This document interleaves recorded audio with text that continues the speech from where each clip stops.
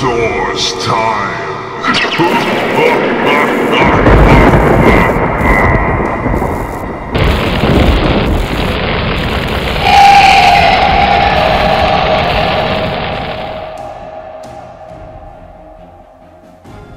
Hallöchen zusammen und recht herzlich willkommen zurück zu unserem Unboxing der neuen Predasaurus Dragonfire von 2016, die brandneue Serie.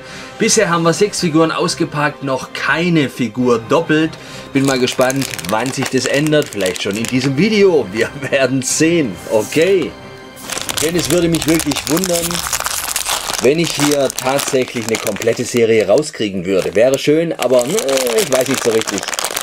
So, hier haben wir einmal das Leaflet, dann haben wir irgendwo die Karte. Wo ist die Karte? Hier ist die Karte. Okay, wer hat sich heute hier versteckt? Wow, wieder eine neue Figur. Nibbledon. Was für Name, Nibbledon. Schaut's euch an. Hier haben wir eine DNA-Fusion aus 64% Drache, und 36% Dinosaurier. Okay, so sieht er aus mit der Nummer 13.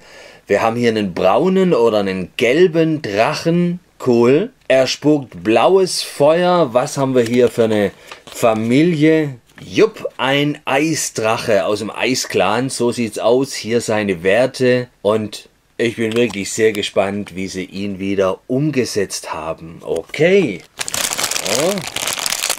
Gleich mal. Wow, wow, wow, wow, tatsächlich. Das ist ja ein helles Kerlchen. Wir haben ja tatsächlich einen gelben Drachen, auch wieder mit eher flachen Schuppen. Hier ganz, ganz großen Panzerplatten, Schuppenplatten auf der Brust, auch auf den Armen. Hier sehr schön zu sehen. Auch er hat wieder einen ganz individuellen Helm in Silber dieses Mal. Der Drache selbst hat blaue Augen. Bis jetzt sind sie alle sauber reingesetzt. Zähnchen auch nicht allzu groß, also relativ brav ne, im Vergleich zu den alten Serien. Ja, die Flügel sind relativ klein und in einem ja leichten Metallicgrün, ebenso natürlich auch die Rückenstacheln von oben bis unten zur Schwanzspitze. So sieht's aus. Okay, sehr schön, wie das hier eingearbeitet wurde. Wirklich sehr schön hat einen relativ ja, schmalen Rücken, zumindest sieht es hier aus, weil es halt eben grün ist und links und rechts sieht man dieses Gelb. Sehr, sehr schlanker, sehr, sehr agiler Krieger, wie es aussieht und äh, er hat vor allem auch eine nette Größe. Was, was haben wir hier? Steht er? Jawohl, er steht. Ich komme hier auf, ja doch auch nur knapp 6 cm, aber er wirkt wirklich größer, weil er eben relativ schlank gebaut ist. Auch sehr schön, ne? Die Wadenmuskeln hier definiert definiert. Okay. Und einen wirklich echt coolen Helm. Und die sind tatsächlich nicht zum Abnehmen gemacht. Also die wurden fest drauf montiert. Also auch wieder eine Neuerung im Gegensatz zu den älteren Modellen, wo man die Helme noch hat aufsetzen und teilweise auch tauschen können.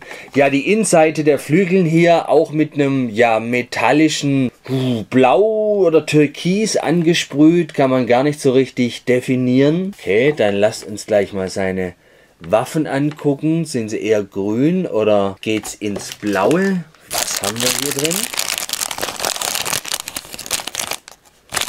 So, hier habe ich sie schon. Ah, Silber. Nichts von beidem. Ja, ihr seht auch wieder ein ganz individuell gefertigtes Schild. Sieht fast ein bisschen aus wie ein Käfer, das Ganze. Ne? Auch wieder sehr, sehr schön gemacht. Wow, also das finde ich schon klasse, dass man sich hierfür so eine Mühe gemacht hat. Äh, nicht ganz so klasse finde ich diese Halterung für den Arm. Die ist ziemlich weich und die Schilder fallen nur allzu schnell, allzu leicht von den Armen äh, wieder ab. Ne? Genauso ist es eigentlich auch mit den Waffen durch diesen Pinökel, wobei der ist jetzt hinten wieder ein bisschen rund. Kann man das sehen? Die Spitze. Das sitzt teilweise auch nicht richtig gut in der Hand und fällt allzu schnell auch wieder aus der Verankerung aus. So, hier haben wir eher einen Kampfstab. Sehr futuristisch das ganze Ding hier, aber sieht wirklich klasse aus. Wieder schön designt. Okay, dann werde ich das hier natürlich gleich mal anstecken, damit wir das komplett sehen. Ja, das sitzt wieder schon ein bisschen besser, eben wegen dem kleinen Pinökel am Ende. Sehr schön. So, dann auch noch gleich sein Schildchen. Das machen wir mal hier hin. Cool. Also hier Niveldon. So sieht er aus. Auch wieder eine weitere schöne Figur zu dieser neuen Serie. Klasse. Und er steht wie eine 1. Ich stelle mal Cerias noch daneben. Dann sieht man auch das Größenverhältnis. Also ist tatsächlich gleich. Aber er wirkt halt ein bisschen größer, weil er einfach schlanker ist. Und auf jeden Fall zwei mega mäßige Gegner, die sich hier gegenüberstehen. Sind schon echt klasse Kerlchen. Freue mich, dass ihr wieder reingeschaut habt. Wir sehen uns gleich wieder beim nächsten Unboxing einer weiteren Predator Dragonfire Figur. Bis dahin. Ciao, tschüsschen, euer Rupi, hey!